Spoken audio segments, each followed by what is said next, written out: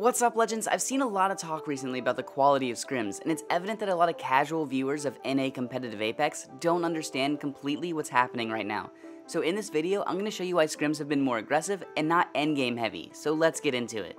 First, if you're just an NA fan or just a fan of one team, you're doing yourself a disservice. There's so many great teams and players worldwide that confining yourself to one team or one region is so limiting. If you think that scrims are poor quality because of fighting, you're missing the bigger picture. Just look at this map. Immediately after all the LAN team qualified, Sven, who is now an analyst for NRG, put together this map of landing areas for every qualified team. On Stormpoint, you can see that Launchpad has 5 teams, Cascade Falls has 4 teams, 6 landing areas have 3 teams listed, and 4 landing areas have 2 teams listed, but there are a lucky few that aren't contested. As you can see, the names are color coded depending on what group they're in. The big issue for LAN is if there's a team in the same group that lands where you do. Like Crazy Raccoon and E6 will be contesting Checkpoint every single game of Stormpoint, or one will be kicked out. NRG is also landing Checkpoint, but they'll get it for free except for when facing Group D.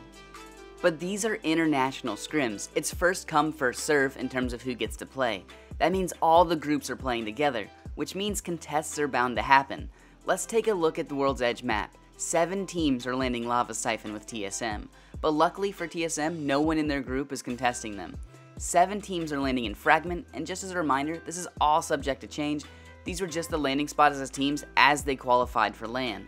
Right now, teams are looking around seeing who they can bully out of their spot to avoid contests in the future. Some teams look at this list and decide that they need to have a new landing spot because they don't want to be contested in their own group. Getting contested in your own group is the worst case scenario. If you're Group A and someone from Group B contests you, that's annoying but doable. If you're Group A and someone within Group A contests you, that's every round you're guaranteed to be fighting someone off drop, which drastically lowers your chance of winning or doing well. KCP is a great example of this. They contested TSM and got bodied. Good thing for them, they're in Group C, while TSM is in Group B. Now that we've talked about the basics of why people are contesting and how the process of mixing groups is happening, we need to talk about regions' playstyles. Anytime you have five regions coming together, playstyles, metas, and rotations all clash. Put yourself in one of those teams' perspectives. You dominate your region, you have your landing spot, you have your own spots that you like to play, and you know every team you're going up against and where they like to play. When you enter an international scrim, all of that changes. There's no way any team knows where every team from all five regions play and how they rotate. They're bound to run into each other, fight for playable spots, and try to figure out where to go. But each region also has their own playstyle. For example, let's look at IG. IG is an EMEA team that lands at North Siphon. There are teams that land at the main Siphon buildings in EMEA, but they allow IG to grab the houses and the little buildings near Siphon and to use the jump tower for free every game. It's a gentleman's agreement not to wreck everyone's beginning of the game. But NA doesn't play that way. So each time IG tried to play their typical game, TSM pushed them and killed them. And I know TSM fans were puffing out their chests that they were killing people contesting them, but IG wasn't trying to contest. They just had a wake up call that NA doesn't do gentleman agreements, but that's not the entire story either. Gambare Otousan, an APAC North team for international scrims, moved from Frag, which is highly contested, to Geyser. They had Juicena land at Grandma's house, limiting the pool of loot even more for IG and forcing them to inch closer to main Siphon. So now IG, who is typically an early rotate team who has to survive off limited loot, is now cut off from one of their only resources and be turned into free KP for TSM. This is just one example of the many times it's happening every game.